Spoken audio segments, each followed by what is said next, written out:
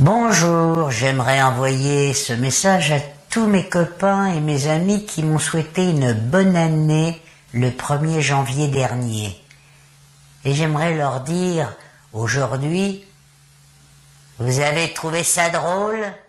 Bande de cons, va.